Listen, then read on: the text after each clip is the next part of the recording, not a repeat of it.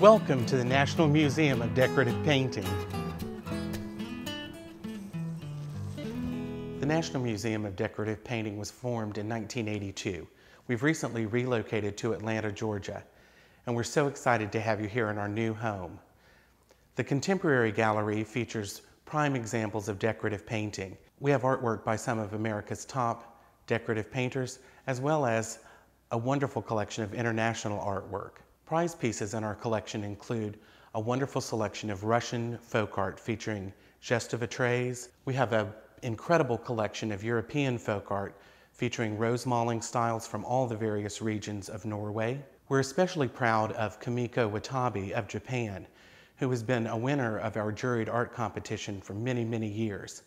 Her work features a style of painting known as pointillism, where the entire design is created by many dots of very, very fine colors. Also included in our collection is artwork from Jo Sonja Jansen, one of America's top folk artists. The large quilt on the wall was created by Cynthia Erickson of Massachusetts. It was featured in the Book of Painted Quilts. Cynthia also created the wonderful dome top trunk and the New England um, angel. One of America's most beloved decorative painters is Mary Jo Leisure from Pleasanton, Kansas, and we're pleased to have a large selection of her work included in our collection. Mary Jo is most noted for her wonderful, soft, delicate rose paintings. Included in our historic gallery are wonderful examples of country painted tinware. It's amazing to see this early American decorative painting and to realize that the artist and craftsman who created this worked in incredibly primitive conditions with less than desirable artist materials. Country painted tin is basically decorated sheet iron that was covered with a tin coating. It was also known as Japanware. They used cat hair brushes that they often made themselves as supplies were very difficult to find in the colonies. We're very fortunate to have a number of pieces from noted folk artist Peter Hunt. Peter Hunt is a premier uh, American folk artist who worked from the 1930s to his death in the 1960s.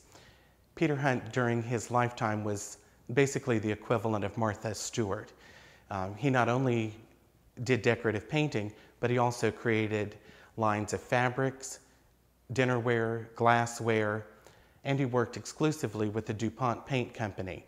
And when DuPont came out with styrofoam, Peter Hunt was the first to create Christmas decorations made of styrofoam. Peter Hunt's work has also been featured on the Antiques Roadshow. When you visit the museum and have looked around in the main galleries, we always welcome guests to leave the formal galleries and come back and see our visible storage area. Here we have stacks of artwork where you can see a huge portion of our collection on display. The museum has more than 1,300 artifacts. Many are shown on the shelves, as well as flat work and plates, trays, things like that are stored in our archival drawers.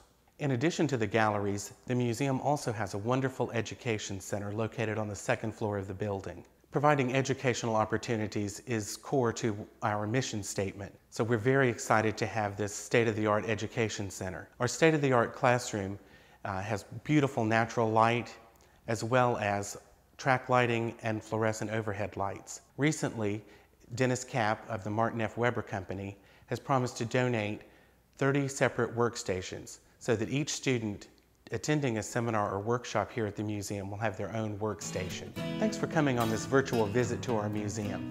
If you'd like, you can visit us anytime here in Atlanta, or if you can't make it to Atlanta, be sure to visit our website at dpmuseum.org.